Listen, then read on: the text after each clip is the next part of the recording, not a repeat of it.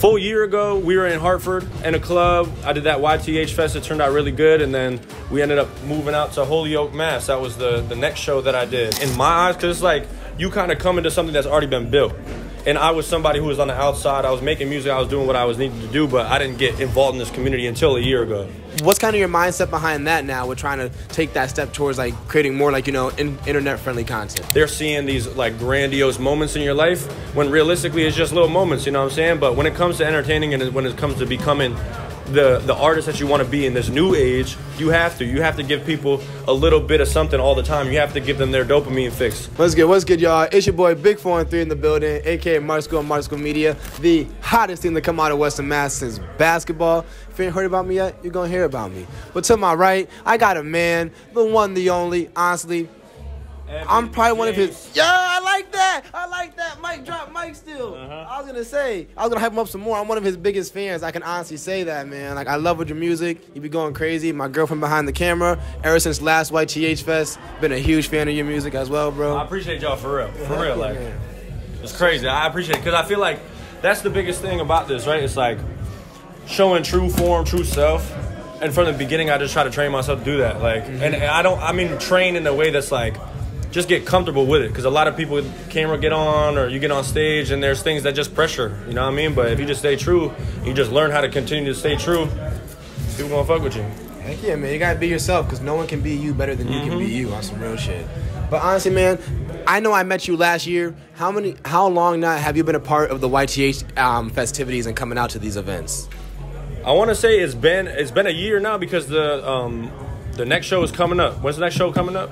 Um, like May, June, June, June. So like basically like a year. Yeah. Yeah. Okay. So I a full year ago we were in Hartford in a club. Um, I did that YTH Fest. It turned out really good, and then we ended up moving out to Holyoke, Mass. That was the the next show that I did, and it's a really. Um, I was just talking to Black Friday. It's a sense of community, especially when you start getting locked in with a lot of people. You start seeing faces again. You know what I'm saying? Everybody continues to support each other throughout, not just at the festivals, not just at these like link up these meetings, but through social media and just giving support. I think that's the most important thing.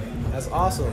So would you say that's your biggest takeaway from like your performance at YTH last year and being a part of the community? Is that like it's just a lot of people get rally around you now? It's like kind of a stronger fan base, you would say? I I don't want to say I I don't want to talk selfishly. I just want to talk about the fact where, in terms of what's been building in my eyes, because it's like you kind of come into something that's already been built.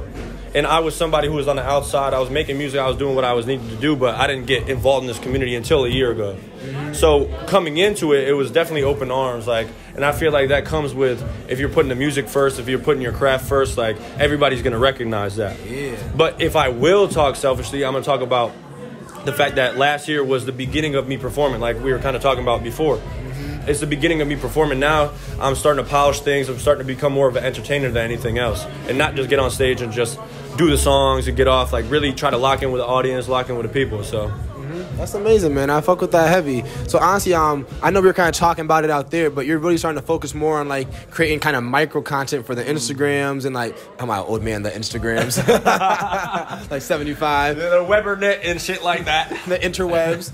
But yeah, so like, but what's kind of your mindset behind that now? We're trying to take that step towards like creating more like you know in, internet friendly content. I mean, full transparency. Beforehand, I didn't really like it. I felt like there's so much things on social media that make other people feel like they're seeing these like grandiose moments in your life when realistically it's just little moments. You know what I'm saying? But when it comes to entertaining and when it comes to becoming the the artist that you want to be in this new age, you have to. You have to give people a little bit of something all the time. You have to give them their dopamine fix.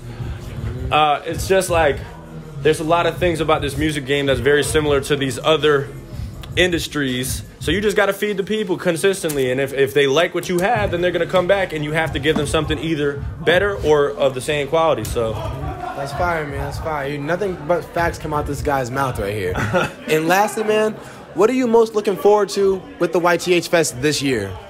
I'm most excited to see a new artist because I feel like as this continues to grow, and I bet Don could just be a, um, a, testament to this. Like he just continuously sees new artists come out, new talent, people who are really hungry, and I feel like the people who've been in it for a little bit longer, they see that new talent, and it's just like it's inspirational. If it's all love, then it's all love. Like there should be no envy, no jealousy. It should just be inspirational. So I think that's the biggest thing for me because even coming and being a new artist, like however you want to say it, I get inspired by everybody, older people, younger people, people who've been doing it for a year, people who've been doing it for eight years, people who just started. So I think that if you're a student of the game, when these things happen, like YTH Fest, you're just gonna be inspired. You're just gonna be celebratory. You know what I mean? Mm-hmm.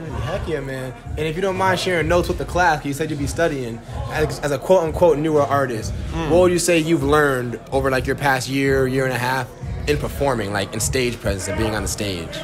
Comfortability is key, and that comes with practice and rehearsing.